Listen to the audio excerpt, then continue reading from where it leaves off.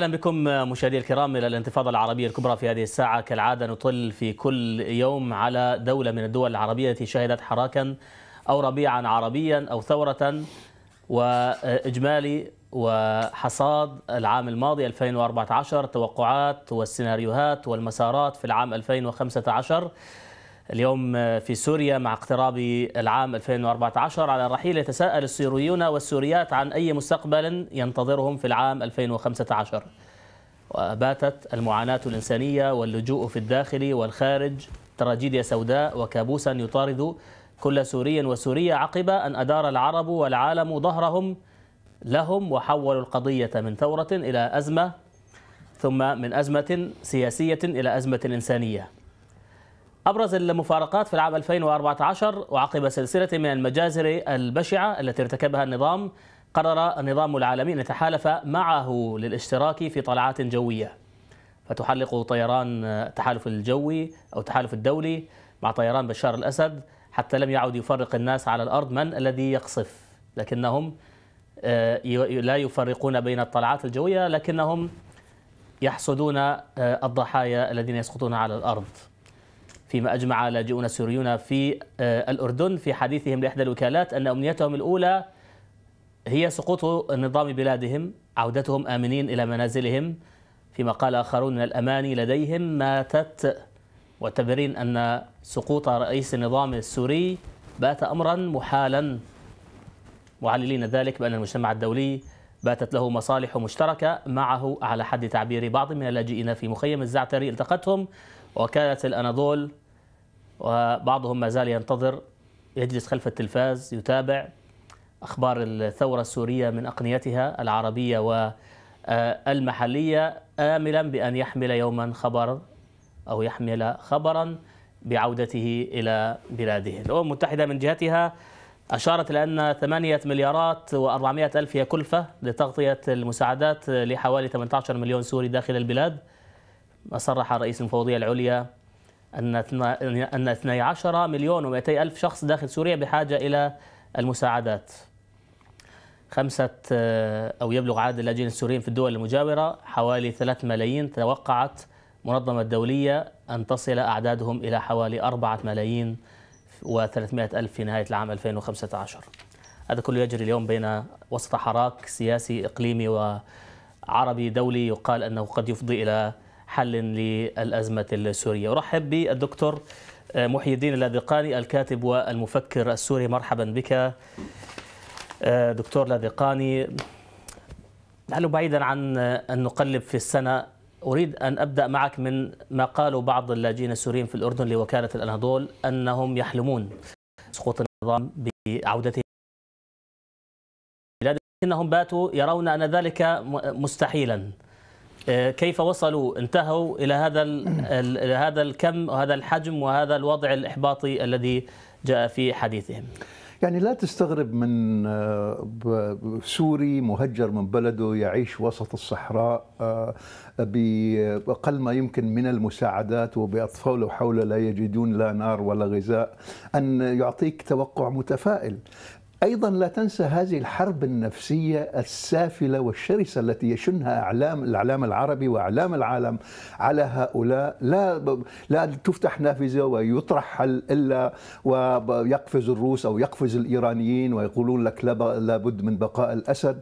ما قالوا هؤلاء اللاجئين عن أن ذهاب الأسد محال هو العكس تماما لأن ذهاب الأسد الآن هو على أجندة الجميع بما فيهم أقرب حلفائه موسكو وطهران. طب بس اليس اليس دكتور سنأتي للفقه الشق السياسي لكن ألا يمكن القول أنه يمكن أن نفهم المعاناة الحقيقية واختزال الحقيقي للتراجيديا السورية من هؤلاء المساكين المعدومين اللاجئين الذين يعانون يوميا. هؤلاء مغيبون عن العالم. هؤلاء لا يملكون من وسائل معرفة ما يدور في كواليس السياسة إلا ما يشاهدونه على القنوات العربية. أغلبهم لا يشاهد قنوات أجنبية ولا يعرف حجم الانتقادات التي توجه مثلا للإدارة الأمريكية ولا للإدارات الغربية لتقاعسها في الحالة السورية. أنت الآن تأخذ نموذج مغيب تماما عن العالم. مثقل بإحباطاته وتحاول أن آه، تفرض رؤيته على الصورة الشاملة، الصورة الشاملة في سوريا هي ما يقرر الوقائع الميدانية على الأرض، وهذه كلها في غير صالح النظام. أنت حينما ترى هجوم روسي لأجل حل سياسي وهجوم إيراني لأجل حل سياسي، تعرف تماما أن العصابة الحاكمة في دمشق في ورطة حقيقية ولا تستطيع أن تقوم بأي إنجاز بعد أن راهن عليها آه، الروس والإيرانيين لمدة ثلاث أعوام ونصف فلم تستطع أن تقوم بشيء بالعكس تقلص ما يسيطر عليه بشار الكيماوي في سوريا إلى 26% فقط من مساحة طب سوريا. ولكن بشار الكيماوي الآن يقال أنه يشن هجمة مضادة يعني يط- تفتح سفارات له في بعض البلدان ويجري الحديث عن إعادة تطبيع سياسي وصفحة أو أدمن كما جرى في مصر. أسفين يا ريس أسفين يا بشار.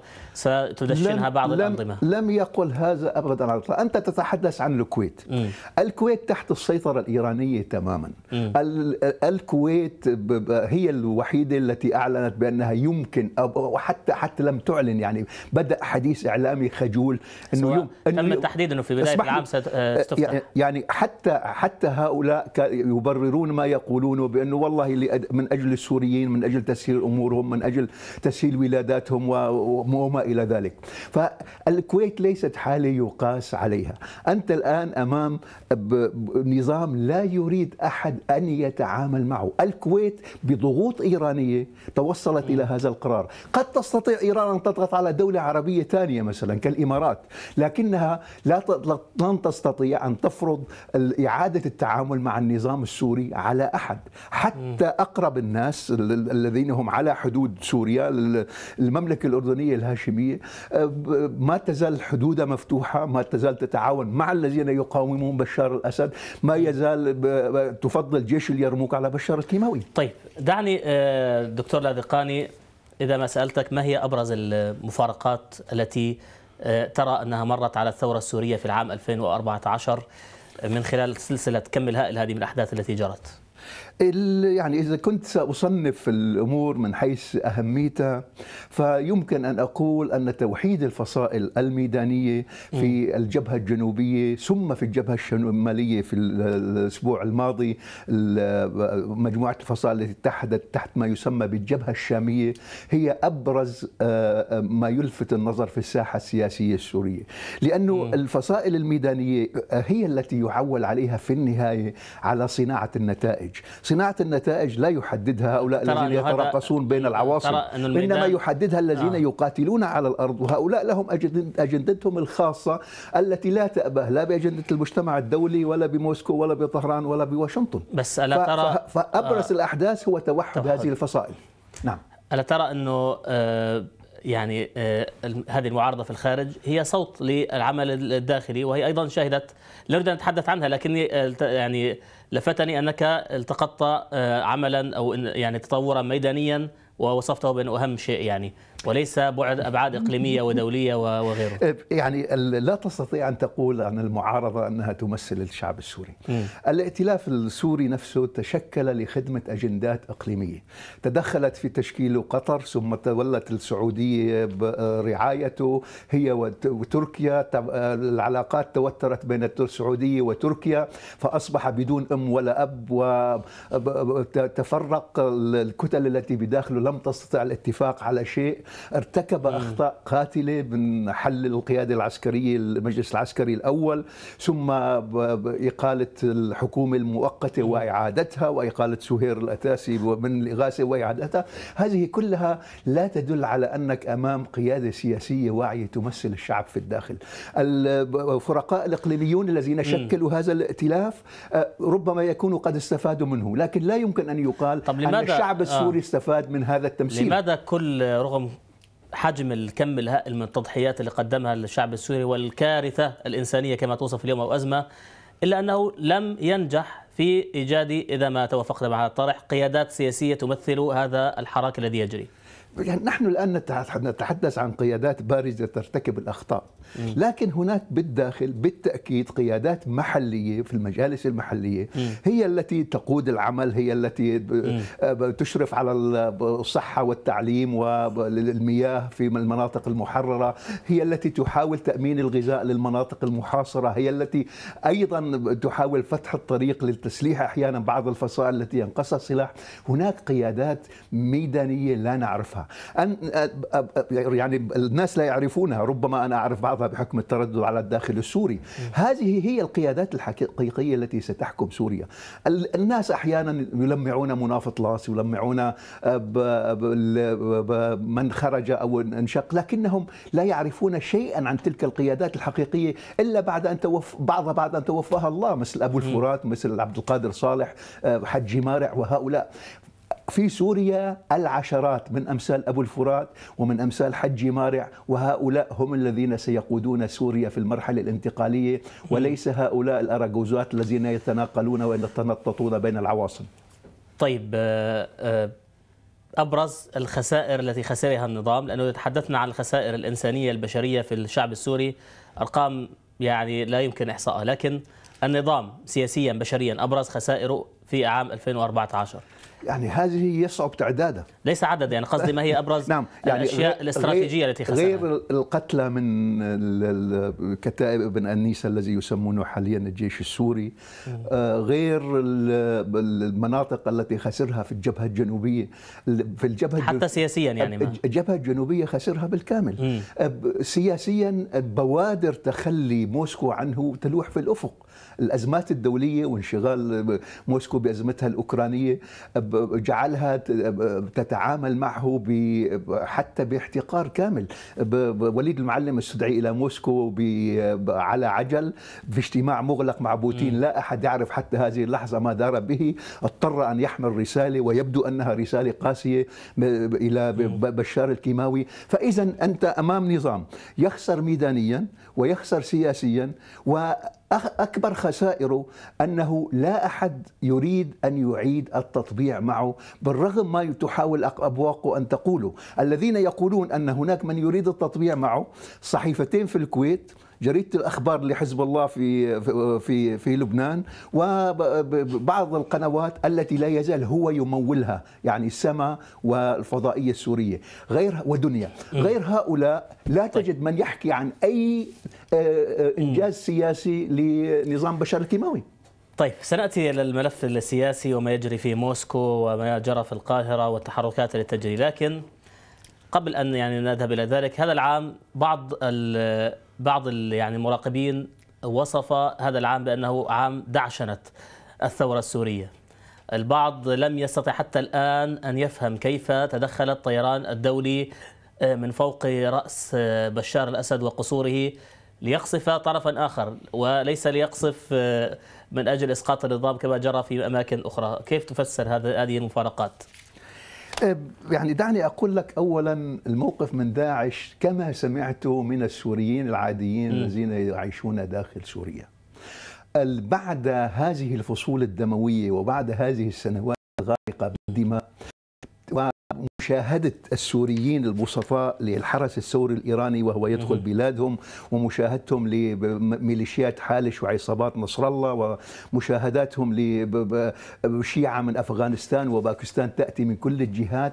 توصلوا إلى قناعة أنه لكل داء دواء ودواء هؤلاء ربما يكون داعش لأنها أكثر دموية منهم وتجابههم، هذا هو الرأي البسيط الذي يمكن أن تسمعه في الشارع السوري، فهذه الدعشنة حالة مؤقتة فرضها ظرف دموي على الشعب السوري، الشعب السوري والإسلام السوري طول عمره كان تسامحي وسطي ليس فيه مجال لهذا التطرف. وكل من يقولون أن المجتمع السوري يمكن أن يقبل حالات التطرف أن تعيش فيه لا يعرفون طيب السوريين تماما. هذا هذا مفهوم لكن في ظل حالة الانقلاب التي تجري في في سوريا وفي حصار وفي التغير الذي يجري انت عندما أكيد شاهدت عبد الباسط الساروت بلبل الثورة أو يعني بلبل الثورة السورية. وهو هذا الرجل الذي كان بدأ ثورة سلمية يغني وينشد ويدبك ثم انضم لفصائل مسلحة خرج في النهاية وأعلن مبايعته لتنظيم داعش. ألا يختزل هذا الحالة الانتكاسة التي تعرضت لها الثورة؟ لا أنت ولا أنا عشنا ظروف الساروت. لم نعش تحت الحصار ثلاث سنوات. لم نخرج من باب عمر وبقية أحياء حمص باتفاق دولي مضروب لم يحافظ النظام على أي شيء فيه. كان وعد بأن لا يلاحق الذين خرجوا من حمص في الريف الشمالي ومع ذلك كما فعل في كل الهدن لم يحافظ على هذه الهدنة. بعد تجويع وحصار ونقص أسلحة وكل شيء ماذا تتوقع من الساروت أو غيره؟ في في شيء يعني يعني قصة آه. الساروت. رمز من رموز الثورة السورية وسيظل رمز من رموز الثورة. السورية. مم. ربما يكون الآن بحاجة إلى سلاح ربما يكون الآن بحاجة إلى من يحمي ظهره في معركة يخطط لها. فحين نكون في موقع الساروت نستطيع أن نحكم على الظرف يعني الذي جعله بالضبط هذا لا أسأل لنوع من يعني انتقاد الساروت. طبعا أو غيره يعني من ما هم يعملون في الميدان. لكن حاول أن نشخص حالة إذا كان الساروت وصل لهذه المرحلة فما بالك من يحتاج الطعام من يحتاج الحليب من يحتاج الشراب من الناس العاديين الذين أجبروا ودفعوا دفعا نحو هذا التنظيم. لأي مدى يمكن عدم القلق على تغلغل هذا التنظيم في سوريا بإزاء ما نشاهده يعني؟ أيضا دعني أقول لك ومن مشاهداتي السورية في الداخل؟ م. الإقبال السوريين على جبهة النصرة وليس على داعش. وهذا له سبب يعتقدون اولا أن جبهة النصرة أغلبها سوريين وليست مكونة من مقاتلين أجانب كما تعرف داعش تشكيله من مختلف دول العالم بينما أغلبية النصرة سوريين. النصرة لم ترتكب فظائع واعدامات بحق السوريين في المناطق التي سيطرت عليها والنصرة عاملت المناطق المحررة بإدارة ذاتية أثبتت شيء من النجاح في الصحة والتعليم والأمن والأمان الذي يحتاجه الإنسان. فالذي يقول لك أن السوريين يتجهون يتوجهون إلى داعش مخطئ. ربما هناك إقبال على جبهة النصرة وهناك أيضا سياسيا من يريد إقناع جبهة النصرة بالانسحاب من القاعدة والتخلي عن مبايعة القاعدة لأنها عندئذ ستكون فصيل سوري مثل مثل الجبهة الإسلامية مثل أحرار الشام مثل يعني سوريا في النهاية بلد إسلامي. هل نريد أن نجرد سوريا من إسلامها حتى نقول أنه والله نحن ديمقراطيين؟ لا. سوريا بالنهاية بلد إسلامي يكون سيكون فيها فصائل إسلامية وسيكون فيها مقاتلين إسلاميين ولا حاجة لندعشن الجميع. طيب اليوم يعني تقرير ل تقرير نقلته مجلة فورين بوليسي قالت أن الحرب السورية تتجه نحو نقطة لا عودة ونتقدم تنظيم الدولة الإسلامية في شرق وشمال البلاد وانتعاش التنظيمات الجهادية في شمال غرب سوريا. يدفع بقايا المعارضة المسلحة المعتدلة دفعا باتجاه التصادم مع النظام ومن ثم فإن أي أمل في إمكانية أن تحكم أي حركة قومية علمانية أو تحكم سوريا بعد نظام الأسد يتضاءل بسرعة وأن المعايير أو أن المؤشرات تتجه إلى مزيد من توسع تنظيم آه، داعش. هذه الفورن بوليسي تتحدث أنه مزيدا من التوسع لتنظيم داعش. كيف يمكن مواجهة هذا التنظيم؟ لأنه لم يخرج السوريون يوم أن خرجوا في ثورتهم من أجل أن يأتي لهم أبو بكر البغدادي ويدير هذه المناطق. بتقديرك دكتور. يعني اولا الفورن بيرسي تمثل السياسة الرسمية الأمريكية. م. والاستراتيجية الأمريكية من بداية الثورة السورية إلى الآن قائمة على مثل عربي فخار يكسر بعضه. لا تأبه لا لآلام السوريين ولا لمشاعر السوريين ولا لماذا يريدون السوريين. لكنها أيضا وبخبث شديد تحاول الإيحاء بأنه النظام الحالي هو نظام علماني، هذا نظام لم يكن علمانيا في يوم من الأيام، منذ ولادته في اللحظة الأولى حتى قبل أن يستلم آه، حافظ الأسد السلطة بشكل كامل في 1970 منذ العام 1968 وهذا النظام طائفي بلباس طائفي بأجندة طائفية أيضا يحاولون الإيحاء بأنه حامل الأقليات مع أن الأقليات لم تعاني في سوريا مثل ما عانت في ظله. مليون مسيحي مليون مسيحي هاجر من سوريا في عهد حافظ الأسد وهذا إحصاء الدولة. فما بالك لو قام آخرون بهذا الإحصاء. اذا الأكاذيب التي تحاول الإدارة الأمريكية أن تمررها من خلال إعلامها لا تعنينا في كثير أو قليل. الكذبة الأخرى الآن آه. يعني وأنت آه. ذكرت قبل قليل محاوله طائرات البشار الكيماوي مع طائرات آه. التحالف يعني هذه مفارقة بعض السوريين بدأ ينكت يعني يقول إحنا كنا يعني عارفين مواقيت قصف بشار الأسد في أي ساعة ويقصف ولم الآن لا نعرف متى سيأتي بشار ومتى يأتي التحالف يعني لا. يعني هذا ما كنت أريد الوصول إليه التحالف رسميا لا تستطيع الولايات المتحدة الأمريكية أن تدخل بشار الكيماوي في هذا التحالف م. هو النظام تبر... تنسيق هو يعني. هو تبرع من تلقاء آه. نفسه وأراد الإيحاء لمواليه في الداخل ولمن يناصرونه في الخارج بأنه جزء من هذا التحالف بدأ يقصف وحينما بدأ يقصف اختار مناطق بعينها يعني أنت ترى أن قوات التحالف تقصف قصف عشوائي بينما هو لم يقصف في الرقة إلا المساجد وإلا المدارس وأغلب ضحاياه كانوا من المدنيين. فإذا محاولته للإيحاء بأنه جزء من التحالف يعتقد أنها تخدمه سياسيا ويمكن أن تعيد تطبيعه. بعض الأماكن دكتور لدقاني كانت كان هناك تزامن إما تحليق متزامن أو في أوقات يعني في نفس المكان تحلق يحلق التحالف في المك... بعد ساعتين ثلاثة يحلق نظام الأسد عمليا. لا يمكن للعمل في مجال جوي واحد دون تنسيق يعني. أنت الآن حينما تنسق الآن هل القيادة العسكرية السورية تناسق مع مع مع القوات المشتركة التي تقوم بالقصف في سوريا؟ مجرد الإيحاء بكلمة من هذا النوع يستفيد منها النظام وسيلعلع بها خمس خمس ست أيام. الطائرات التحالف كلها عندها تقنيات عالية وتستطيع أن تتحاشى الصدام مع هذا الطيران إن وجد في نفس اللحظة في الجو. الشيء الآخر انظر إلى إنجازاته. يعني هذا الطيران يقصف الآن الغوطة منذ سنتين ونصف م. يقصف جوبر الآن منذ قرابة ثلاث سنوات جوبر تعني. جوبر أربع أميال من م. القصر الجمهوري ولم يستطع أن يحقق أي إنجاز المشكلة الآن أن يعني خليني بس أوضح الصورة يا ريت ما تقاطعني المشكلة الآن أن النظام السوري العصابة الحاكمة في دمشق في حالة موت سريري كل ما يريد حلفاؤه منه أن يظل حي بمعنى أنه أنه الآن لو توقف القصف يوم واحد فإن شيء ما سينهار داخل تركيبته. يوميا تصل السفن الروسية إلى طرطوس محملة بالأسلحة. يوميا الإيرانيين يرسلون عبر العراق وعبر لبنان ما يستطيعون من كل شيء لدعمه فقط ليحافظوا على الواقع الحالي. الواقع الحالي بمعنى ما يسيطر عليه النظام من الأرض. ومع ذلك فإنه يتقهقر ويتراجع باستمرار. اذا أنت أمام نظام ميت سريريا الحلفاء الدوليين. موسكو وطهران تستطيع أن تقطع عنه شريان الحياة في أي لحظة. ففي خلال خمس دقائق تنظر أنت وتجد نفسك أمام الشاشة. مضطر الان تذيع خبر سقوط بشار الكيماوي في مفاجأة لم يتوقعها العالم.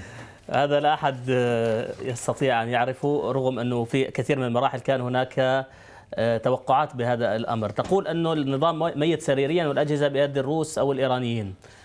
لكن البعض أن المجتمع الدولي ما زال لديه مصالح مع هذا النظام ولن يسحب الأجهزة بل ربما يأتيه ب يعني دماء جديدة حتى يعيد مرة ثانية إنتاجه. ما هي المصلحة الدولية التي ما زالت مع نظام مريض أو نظام رجل مريض إذا شئت كما فهمت من توصيفك؟ يعني لا لا أحتاج للشرح إن المصالح الإيرانية المتواجدة داخل سوريا التي تعرف تماما إنه في حين سقوط بشار ستخسر أيضا نصر الله وحالش في لبنان وأيضا يرتد ذلك على وضعها في العراق.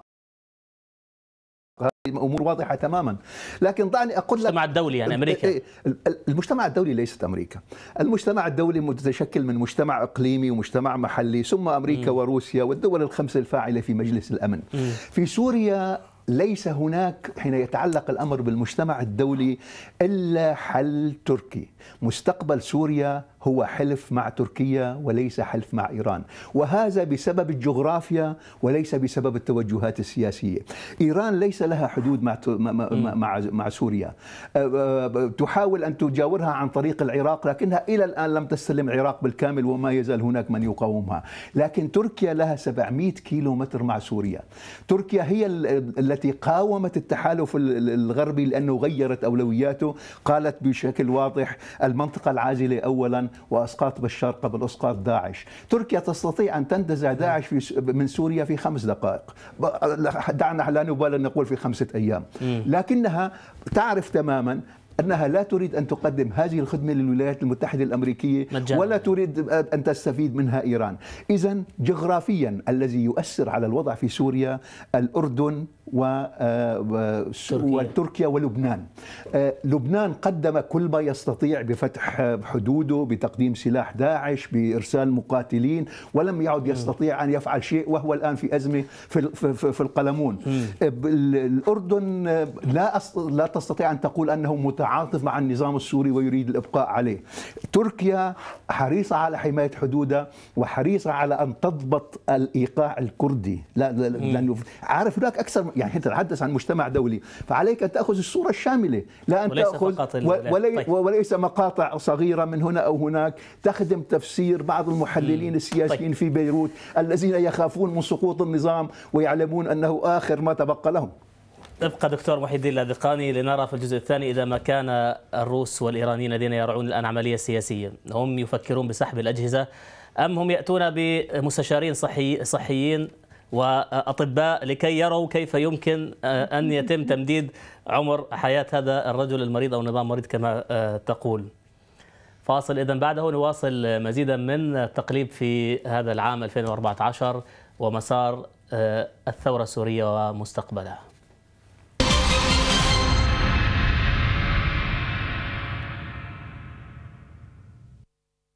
حينما يغدو تكميم الأفواه سياسة ثابتة وحينما توضع الحواجز أمام الآراء تفتح الحوار للمشاهدين بابا للتعبير عن آرائهم بحرية تامة.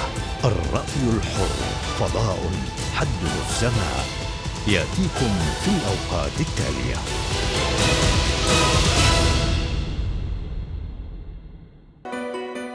تتصاعد الأحداث في العالم العربي.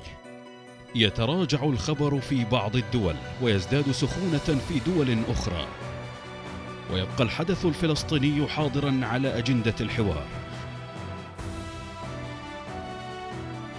نتابع الخبر الفلسطيني نحلله ونبحث في تفاصيله. وندرس تداعياته على الأرض والقضية والإنسان. بانوراما فلسطينية تأتيكم على الهواء مباشرة. الجمعة الساعة الخامسة مساء بتوقيت غرينتش. تتسارع الأحداث في الشرق الأوسط وينشغل العالم بالربيع العربي. وفي زحمة هذه الانشغالات تفتح قناة الحوار بوابة على إفريقيا. ملفات إريترية. يأتيكم الأحد الساعة الخامسة مساء بتوقيت غرينتش.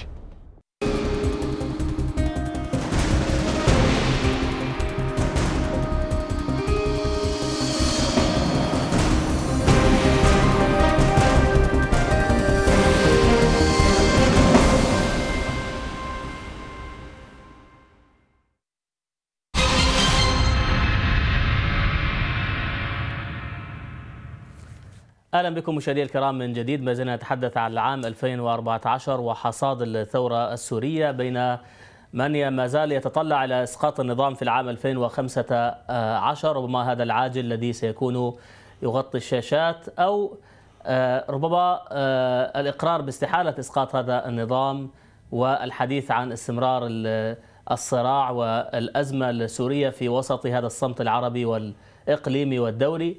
بعد قال 2014 شهدت مفارقات كثيرة منها محاولة لدعشنة الثورة وحرف مسار عن تحقيق تطلعات الشعب السوري إلى محاربة الإرهاب وتنظيم داعش دون محاربة في ذات الوقت النظام السوري. في هذه الأثناء تجري أو تقوم موسكو بإعداد ما قيل أنه مبادرة أو مشروع آه، مبادرة للحل السياسي.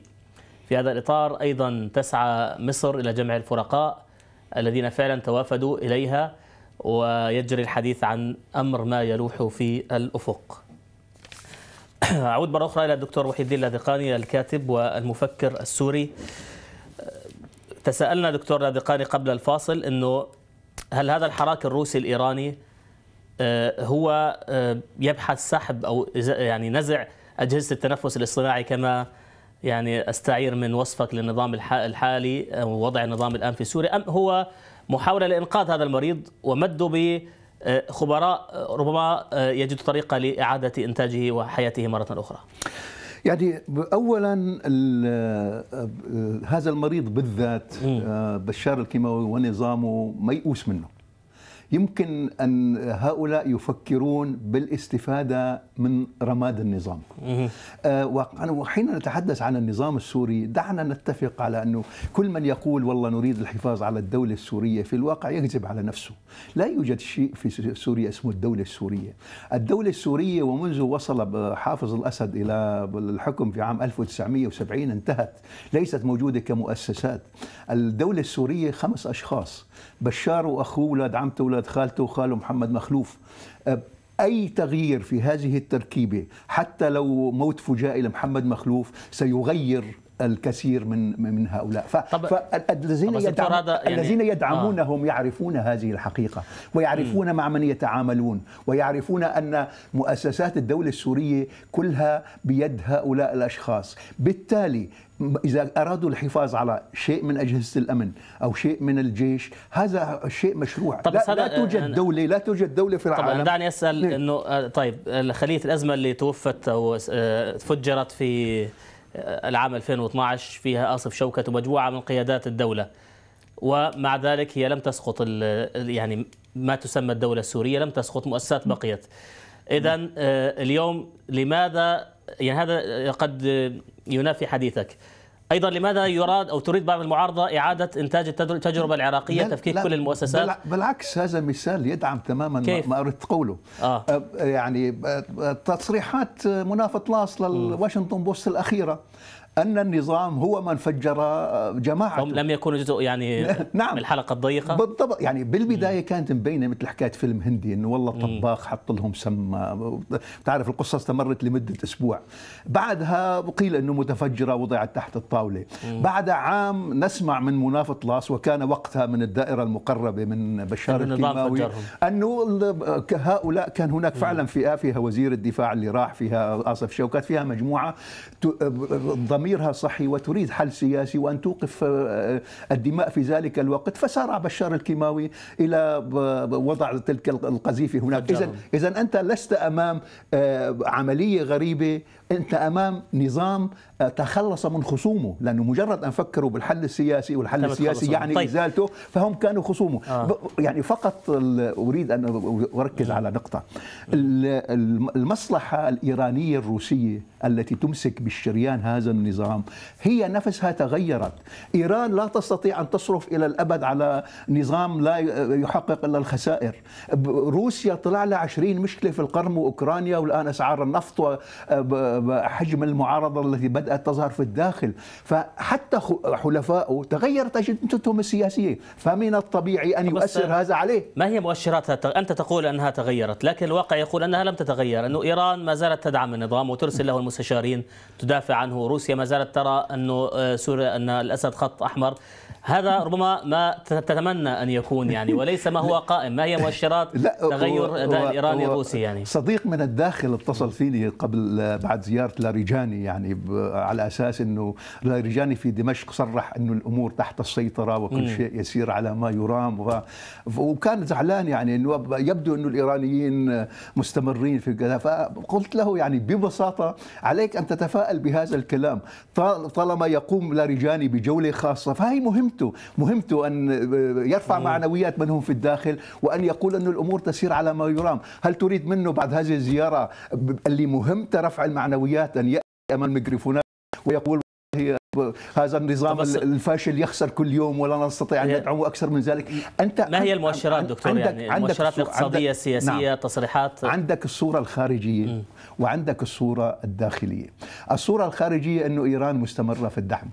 الصورة الداخلية أن حتى داخل إيران هناك من يقول كل هذه المليارات التي صرفناها على النظام السوري كان يمكن أن ننعش فيها الناس ونستمر بشكل أفضل لناسنا. أيضا عندك الآن ال- التومان وأزمة أسعار البترول تجعل من ال- الإيرانيين لا يستطيعون مواصلة القتال في أربع جبهات، هم الآن فاتحين جبهة اليمن، جبهة العراق، جبهة سوريا وجبهة لبنان، اذا من مصلحتهم وأقل تكلفة إنهم أن يستمروا في معركة اليمن والعراق ويحافظوا على من يمكن أن يحفظ لهم بعض المصالح داخل سوريا. طيب. أدركوا أيضا تماما يعني أنت خليك من التصريحات كل يوم إنه والله حدودنا امتدت إلى البحر الأبيض المتوسط هاي تصريحات للدستور. إلى إلى الجنوب اللبناني. أنت تستطيع أن ترسل خمسة من الحرس الثوري حزب الله بيوصلون على حدود إسرائيل وهم الآن بدأوا يلعبوا هذه اللعبة وتقول والله الحرس الثوري الإيراني صار على حدود إسرائيل. هذه كلها حالة من خداع النفس ومحاولة خداع الآخرين. الكل يعلم أن إيران في أزمة شديدة اقتصاديا وسياسيا. خامنئي الآن إذا بيموت صدفة وهذا ما غريب على واحد في ال 85 أو 87 ال- النظام ليس عنده من يتجه إليه غير الإصلاحيين. فكل هذه مأخوذة بالحسابات. في روسيا نفس الشيء. ال- الآن هل يستطيع آه، بوتين بعد الحصار الروسي وبعد انخفاض أسعار البترول وبعد الأزمات التي يعانيها مع أوكرانيا على أقرب الحدود إليه. أن يضع سوريا وبشار الكيماوي كهدف استراتيجي؟ طيب. هناك يعني كل كل دولة عندها أولويات. آه، الآن آه، الحديث عن موسكو واحد يعني آه، أنه هذا سيكون آه، حل سياسي. ما معالم أو يعني ما هي آه، المحددات السياسية التي ترى روسيا أن يمكن الوصول فيها لحل سياسي في الملف السوري؟ حوار موسكو ليس أكثر من طبخة بحث. روسيا حتى الآن لم تقل أن هناك مبادرة. كل ما قالته أنها تريد أن تجمع المعارضة السورية على حل. وحتى لقاء المعارضة السورية بالنظام هذا غير مضمون. لقاء المعارضة السورية أولا وإذا استطاعت الاتفاق يمكن أن يكون هناك اجتماع مع النظام. فإذا أنت تتحدث الآن على شيء يشبه الندوة الفكرية أنه دعونا نضع جدول أعمال آه، نبحث في جدول الأعمال ما يمكن عمله ثم نقرر ما هي خطة العمل بعد أن ننتهي من الندوة الفكرية الحالية. ال ال يعني حتى سوبولينا حتى مساء يوم أمس تقول أنه هذا قد لا يحدث في نهاية يناير. يعني ربما حوار المعارضة السورية نفسه يستغرق أسابيع.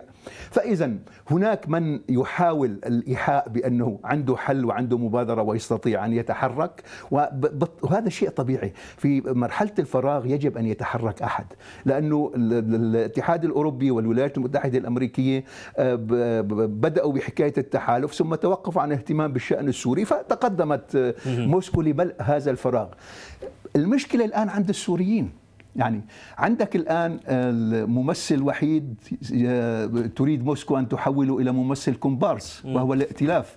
يعني الآن تريد أن تعامله على قدم المساواة سواء مع هيئة التنسيق أو مع الشخصيات المعارضة الأخرى.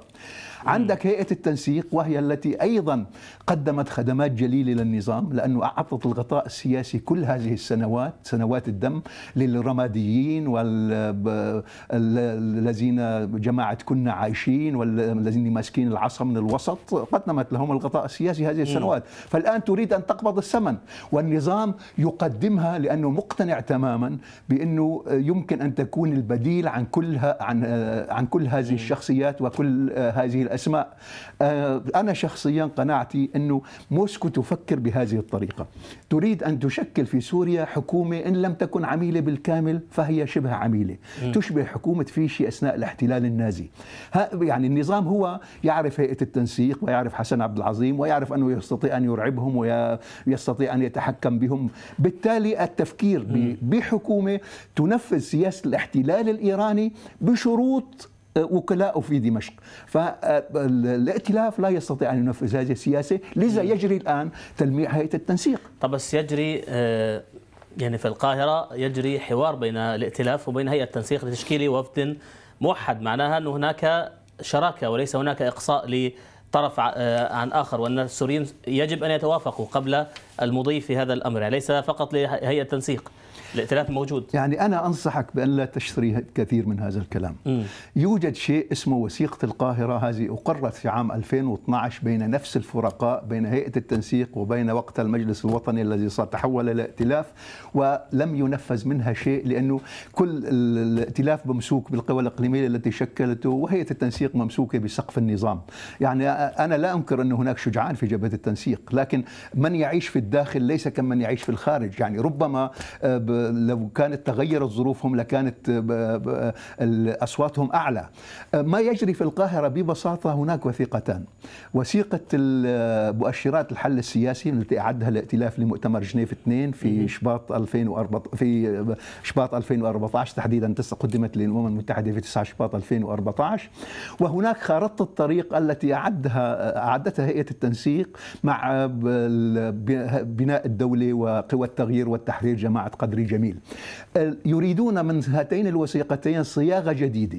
وحين تأتي لوثيقتين بصياغة جديدة هذا يعني أنك تريد أن تضع التنازلات الممكنة في هذه الوثيقة. هل تستطيع هيئة التنسيق الآن أن تقول بأنه يجب إسقاط الرموز بكافة إسقاط النظام بكافة أشكاله ورموزه وهو المبدأ الأساسي الذي قام عليه الائتلاف.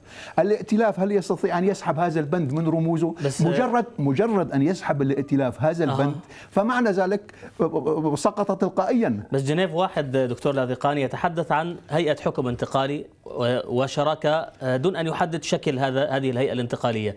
ما يعني أن هناك مساحة يمكن من هذه القوى أن تلعب عليها يعني. المشكلة فقط في وجود بشار أو عدم وجود بشار أما هيئة الحكم الانتقالي منصوص عليها في جنيف واحد. يعني المشكلة الآن أنت الآن- الآن آه، تتحدث عن آه، شيء وكأنه جنيف واحد آه، قرآن مقدس وكأنه آه، روسيا حريصة عليه جدا. روسيا أول من اخترق وخدع العالم بجنيف واحد حين أتت في جنيف اثنين وقدمت تفسيرها لمرحلة الحكم الانتقالي بوجود الأسد. المشكلة الأساسية الآن هي وجود الأسد. وجود لأنه لا جنيف واحد حكت عنه بشكل واضح ولا ما تلاه من جنيف اثنين والقرار مج... لأن القرار عندنا قرار مجلس الأمن الدولي يتضمن جنيف واحد. فاذا هناك حالة من الغموض تحاول موسكو أن تستغل الآن وتقول سرا لبعض الأطراف المعارضة إنه تعاونوا معنا بشكل إيجابي ال- إزاحة بشار الكيماوي تحصيل حاصل. طيب هل هذا الجهد الروسي آه، مدعوم بتوافق إقليمي ودولي أم هو آه، يعني آه، جهد آه، فقط روسي معزول عن هذا الأمر. بالنظر إلى أن التحضيرات تجري في القاهرة آه، وهناك تنسيق يبدو بين القاهرة وبين موسكو. اذا إذا ما كان مدعوما بحلف إقليمي أو السؤال هل هو مدعو بحلف إقليمي ودولي أم هو آه، تحرك روسي منفرد؟ يعني أنا سميت لك إياها طبخة بحث لأنه لا يوجد اتفاق دولي عليها مم.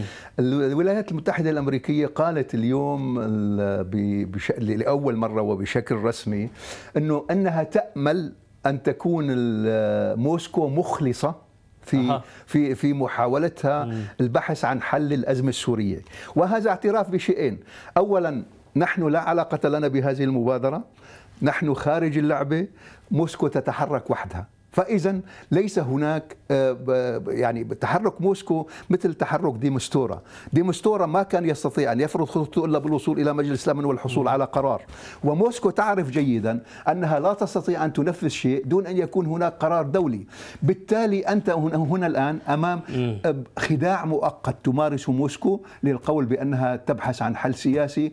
والولايات المتحدة الأمريكية لم تقل كلمتها الواضحة بعد لأنه حتى التحالف الآن معرض لمشاكل يعني ال- الخطأ الاستراتيجي للولايات المتحدة الأمريكية أنها لم تستمع للنصيحة التركية لو استمعت للنصيحة التركية لربما كنا الآن لا نجد أي أثر لداعش في سوريا ما هي يعني ما هي ما هي الرؤية الأمريكية الآن إذا ما في هل في رؤية أمريكية للملف السوري؟ البعض يقول الأمريكان لا ليس لديهم رؤية أصلا. ال- الأمريكان استراتيجيهم من البداية كانت متطابقه مع الاستراتيجية الإسرائيلية. شيء مكرر. نقول أنه دائما الأمريكان يراعون المصلحة الإسرائيلية في القرارات الخاصة بالمنطقة، هذا أمر واقع. اسرائيل كانت وجهة نظرها حافظوا على بشار الكيماوي قدر الإمكان، بمعنى ليس بمعنى لا تسقطوه، لكن دعوه يقدم لنا كل هذه الخدمات المجانية. تدمير البلد يعني وقد قدم لهم ذلك، دمر لهم الجيش السوري، دمر لهم البلد، أراحهم من عشرين ألف مشكلة، فاذا كشف لهم الكثير من من أسرار حزب الله يعني اسقطت لهم ورقة الممانعة والمقاومة. فكل كل هذه الأشياء كانت الولايات المتحدة تسعى هي وإسرائيل لأن تطيل أمد الازمه قدر الإمكان. ما يزال هو هذا الموقف الأمريكي إلى هذه اللحظة هو إطالة أمد الحرب وإطالة أمد الأزمة. الخشية التي يقوم يقوي هذا في آراء داخل البيت الأبيض الآن أنه قد لا يمكن التحكم بما يجري في سوريا من تطرف لأن التطرف ينتج تطرف ألعن منه. كنا بالقاعدة فصلنا بداعش. إذا وصلنا إلى مرحلة داعش أنتجت ما هو أكثر تطرفا بمعنى متطرفين يكون عندهم أسلحة كيماوية ويكون عندهم أسلحة متقدمة. فالمنطقة كلها في حالة خراب. ما يجري في القاهرة وزيارة السيسي لعمان هو لبحث هذه التداعيات. فالآن الأزمة السورية لم يعني السوريين دفعوا الثمن ما حصل حصل الأسوأ حصل ما عاد يمكن أن يخسروا شيء. الذي سيخسر الآن هي الدول الإقليمية المحيطة بسوريا. وهذا ما قد تحاول الولايات المتحدة الأمريكية أن تسارع إلى التصرف إلا إذا كانت بالفعل قررت أن تنفض يديها من الشرق الأوسط وتتجه إلى آسيا كما تقول بعض التحليلات. دول أشرت لزيارة السيسي للأردن وكذلك حديثه عن حل الأزمة السورية. دول الخليج المملكة العربية السعودية ودول الخليج التي لها دور أساسي وهي أحد الأطراف الأساسية اللاعبين الأساسيين.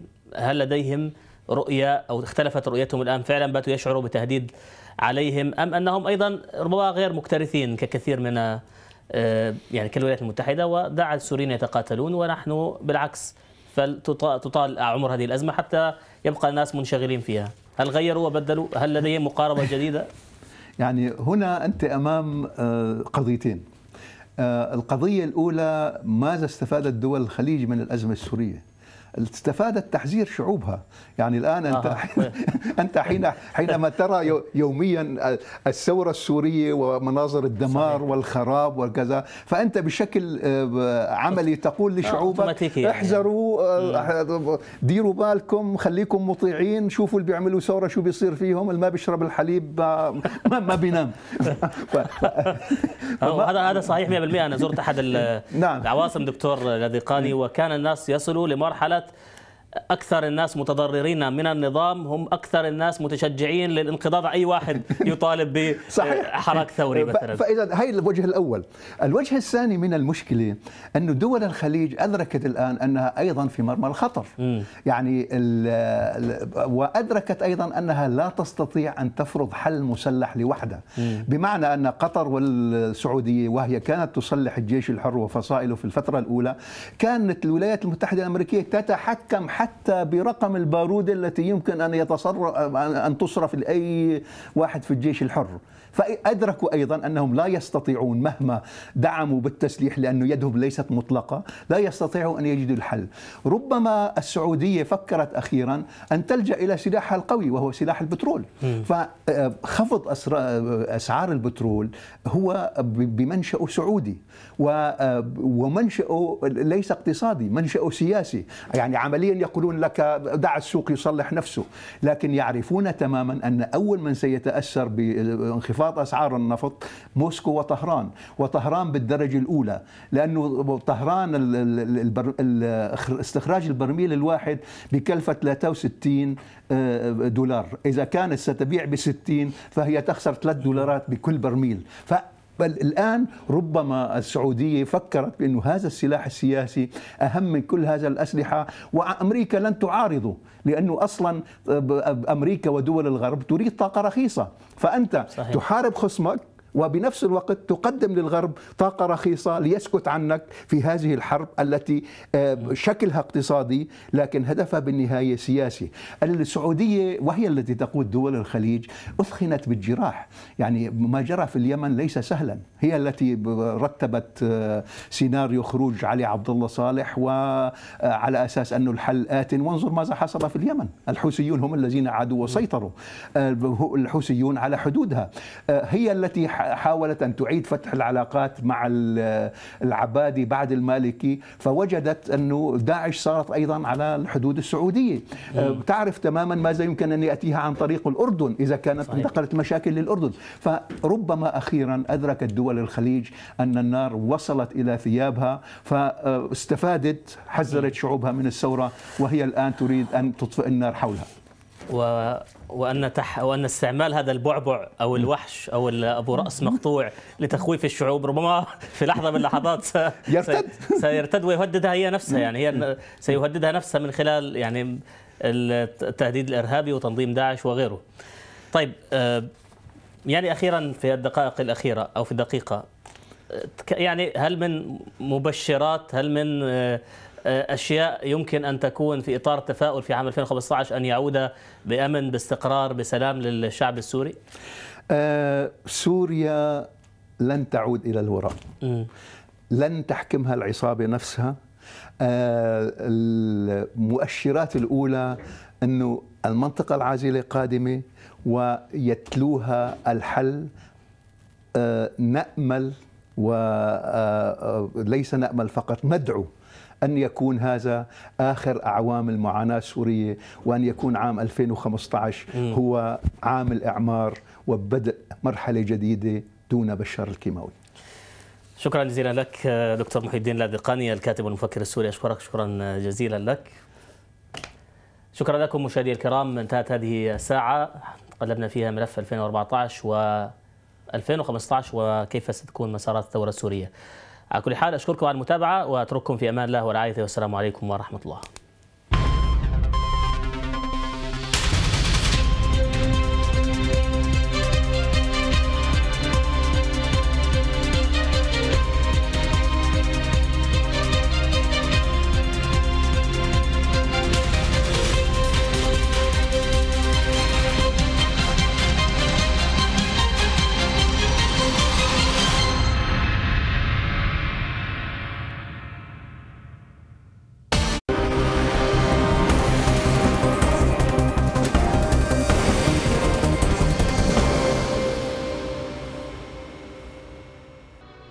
ثارت ثائرة الإعلام واتهام الحركة الإسلامية بأنها تسعى لسحب صلاحية الملك وهذا انقلاب وهذا فثارت ثائرة كبيرة. للأسف آه، أعلن المكتب التنفيذي وأعلن الأمين العام لحزب جبهة العالم الإسلامي أن هذا مشروع دكتور الحي الغريبي وهذا اختياره وليس مشروع الحركة الإسلامية. عجيب. وأنا حضرت جلسة لمجلس الشورى سأل فيها دكتور حي الغرايبة وكان يحضر جلسات مجلس الشورى. سأل أمين السر الأستاذ جميل أبو بكر من كلف دكتور الحي الغرايبة هو سأل بأن يتولى موضوع أن ينوب عن الإخوان في الملكية الدستورية. ألم يكن هذا في قرار المكتب التنفيذي؟ فأجاب أمين السر بالمعلومات كما هي وأن هذا هو قرار الجماعة المراقب العام السابق للإخوان المسلمين في الأردن الشيخ سالم الفلاحات حول قضية الملكية الدستورية. في الحلقة التاسعة من برنامج مراجعات يعاد بثه في الأوقات التالية.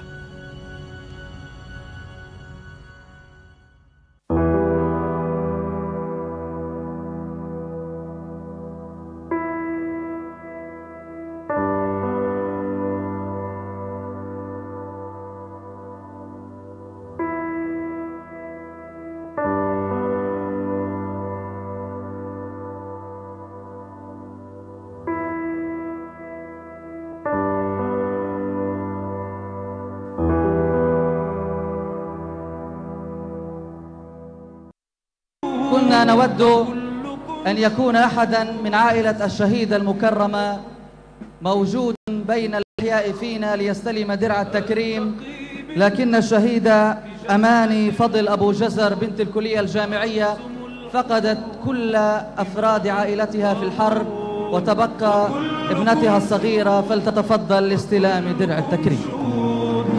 أنتم الأحرار حصن كل داء مذلكم مهمكم قيود. أنتم الأحرار حصن كل داء ما ذلكم حصار مهمكم قيود. وكلكم شهود وكلكم شهود. وصيتي لكم إن كنت لن أعود. ألتقي بكم في جنة الخلود. سأرسم الحدود دماء وورود وكلكم شهود وكلكم شهود.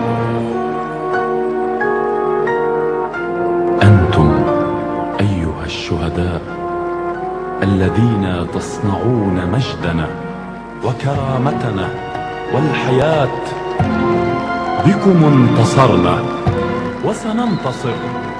يا من بسطتم الأرض سنابل خير. لن نترك أمانة دمائكم. سنبقى على العهد والوفاء.